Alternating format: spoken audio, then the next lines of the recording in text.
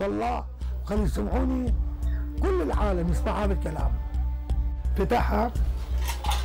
جابوا بيك اب حمله والغابل بيها. مال المسافرين أبا سنتين سنه يحلف يمين. يقول بدي احمل غاض وكنت على بوفيا قال لقيت كاروك.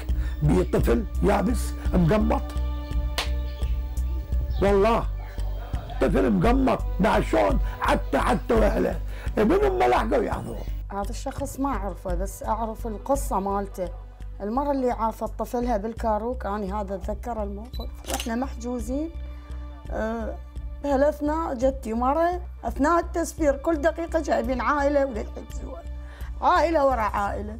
فبهالاثناء شفت واحد مرة تدق على راسه تقول يعني أنا نسيت طفلي بالكاروك. ترى أنا ناسية طفل. الشرطة يباعون عليها ما حد يجاوبها ما حد يدير لها بال. إحنا لزمتنا العاطفة قعدنا بكينا وياها. فأني هذا المشهد شايف.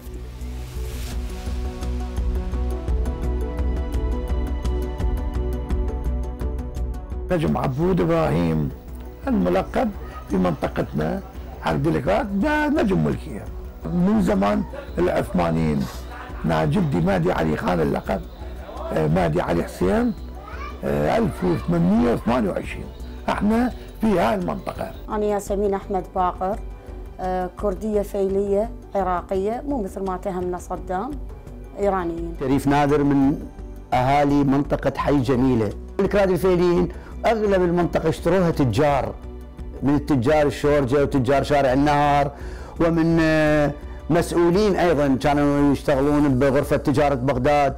صارت حالات سنة 1978 تقريبا. تجي القوات الأمنية آه، إحنا نقول الصدامية.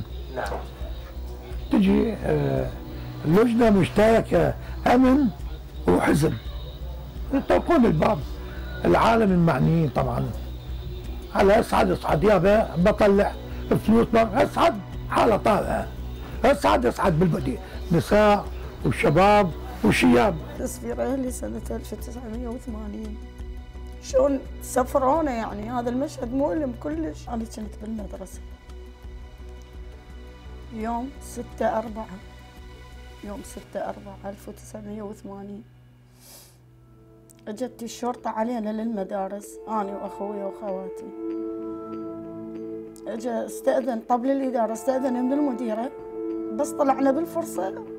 أشروا علينا لقفنا أنا بكيت قلت هذا مو أبونا ولا أخونا ما نعرفه هذا؟ أي أختي جاعت قالت له بابا أريد يعني أتغدى يعني إحنا جوعانين جايين من المدارس.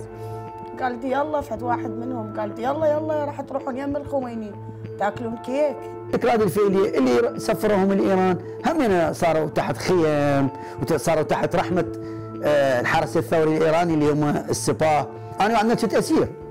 كنت بمعسكر اللي علي يعني جنود إيرانيين. بس بالمعسكرات العوائل والنساء والبنات آه، والشباب اللي مو أسرى على اللي يقول يعني قسم حصلوا laissez-passer و على قلت لي يقول بلهجتنا رجعوها منا على هنا يحصلوا لهم فد ورقة وطلعوا على ليزا باس السويد ودنمارك وهولندا. يعني أنت رجعتني 30 سنة لي ورا.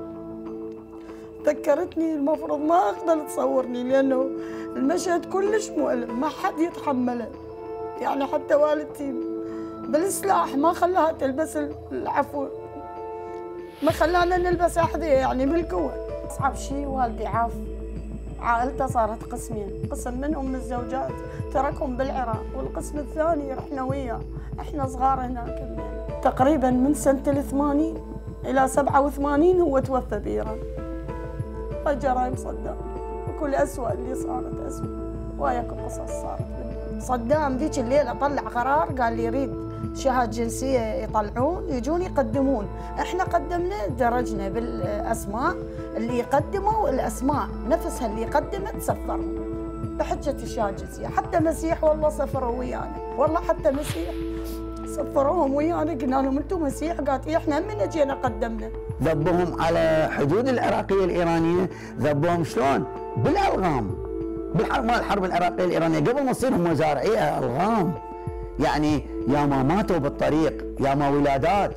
هاي بعيننا شفناها؟